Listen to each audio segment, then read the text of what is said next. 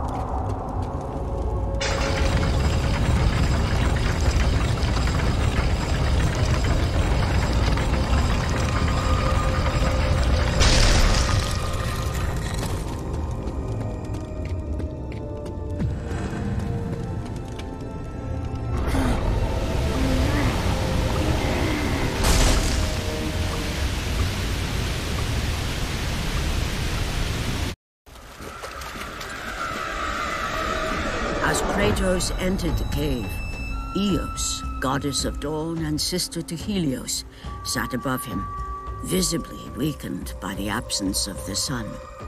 All glory be to Lord Zeus for granting you safe passage to me. The king of the gods does not aid me, Eos. I am but a slave to Zeus and Olympus. Save my brother, Kratos, and he will convince Zeus to release you and rid you of the horrors of your past. I give you my word. The gods have broken their word to me many times.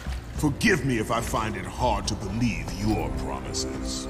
Be that as it may, Kratos. The primordial fire is almost out. Without Helios, the life-giving light of the world cannot be sustained. If you do not find him, only darkness and death awaits all of us. Where has Atlas taken him? I do not know, Kratos.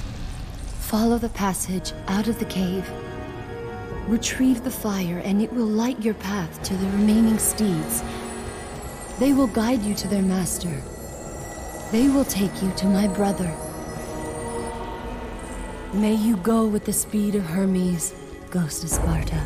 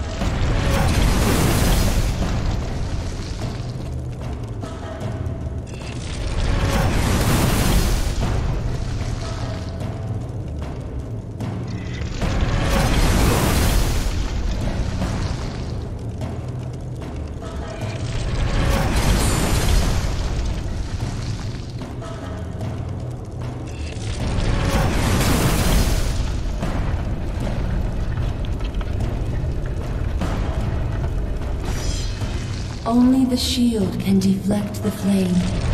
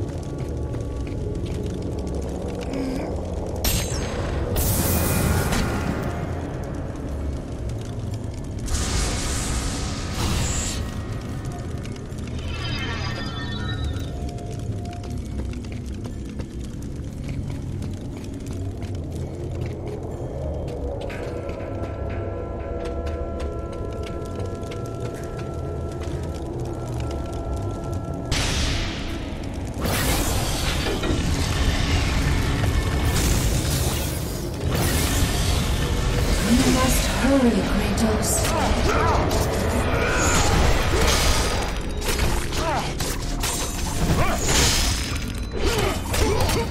Ah!